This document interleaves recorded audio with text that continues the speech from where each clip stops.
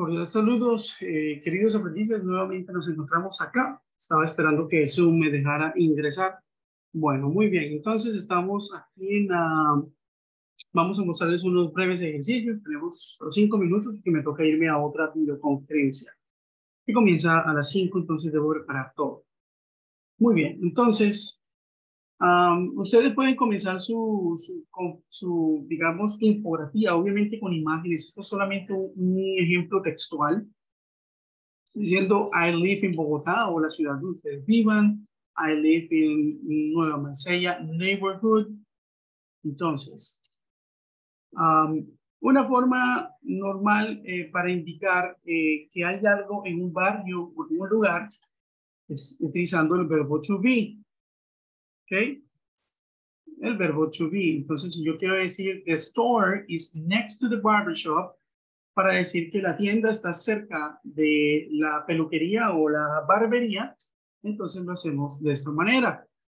Primero el lugar, store, después el verbo to be, después la preposición, ¿cierto? Tenemos la preposición y por último el lugar al que está al lado de dicho lugar.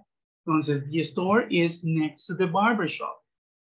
Si queremos decir que hay una droguería, una farmacia, there is a pharmacy.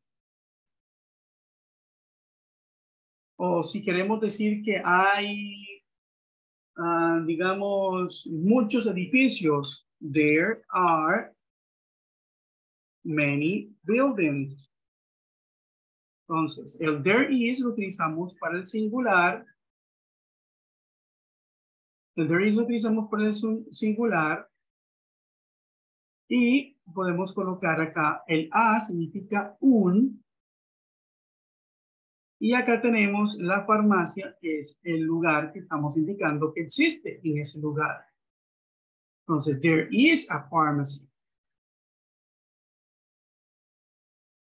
Ahora, si queremos hablar de varios lugares, utilizamos el there are. Entonces, there are many buildings, muchos edificios. There are many buildings. Entonces, I live in Bogotá. I live in, in, Nueva, in Nueva Marsella neighborhood.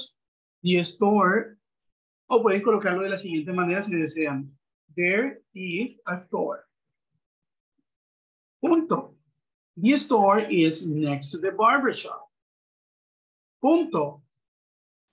Hagámoslo sencillo. Solo frases cortas, estamos en un nivel básico. No nos vamos a complicar con estructuras más organizadas estructuras más complejas, eh, donde hay diferentes, eh, ah, digamos, eh, clauses, por decirlo así, en inglés, eh, diferentes frases dentro de, una, dentro de una misma oración porque nos complicamos. Hagámoslo corto. There is a store. The store is next to the barber shop. There is a pharmacy. Entonces podemos colocar the pharmacy. The pharmacy is um, in front of It is in front of the church, por ejemplo, hay una iglesia. Punto. In front of the church. Y acá podemos colocar, there are many buildings. Y podemos decir, the buildings are, vamos a ver, acá vamos a buscar otra. The buildings are far from, are far from are from the store, por ejemplo. Y así sucesivamente podemos construir este tipo de podemos construir este tipo de oraciones. No necesito que me las coloquen de diferentes colores. Yo solamente estoy haciendo acá una distinción, pero no necesito que me hagan eso. Es solamente para que ustedes lo tengan en cuenta. Entonces, I live in Bogotá, I live in Nueva Saya neighborhood, there is a store, the store is next to the barber shop, there is a pharmacy, the pharmacy is in front of the church, Sí, aquí tenemos la preposición, si se dan cuenta. Es in front of the church. There are many buildings. Aquí estamos otra vez con el there are. ¿Cierto? There is y there are. Recuerden que el there is y el there are significa hay.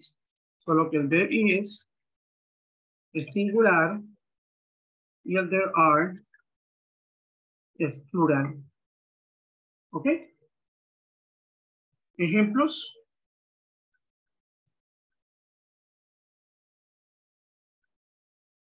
Ahí hay un ejemplo.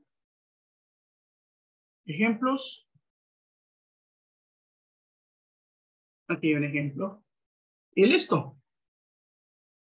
De esa manera pueden completar la evidencia. Eh, lamento no tener más tiempo, queridos aprendices. Es un gusto realmente tenerlos acá, a todos ustedes. Recuerden que esta videoconferencia ha sido grabada y ustedes pueden mirarla desde el principio hasta el final. Obviamente van a ver dos enlaces, a no ser que busque la manera de unir estas, estos dos videos en uno. Vamos a ver si lo puedo hacer. De lo contrario, tendrán dos enlaces. En el último enlace tendrán esta breve explicación y en el otro enlace eh, tendrán desde la inducción de la plataforma hasta la explicación de la temática. Entonces, les agradezco muchísimo por su, por su tiempo, por su amabilidad, eh, por su paciencia y les deseo un grandioso día. Bueno, si tienen alguna pregunta, por favor, háganlo en el foro de inquietudes. Muchas gracias. Tómenle pantallazo si necesitan tomarle pantallazo. En este momento, si necesitan tomar pantallazo, por favor, tomen el pantallazo para ver los ejemplos. Gracias, feliz día. Excelente día a todos. Bye bye.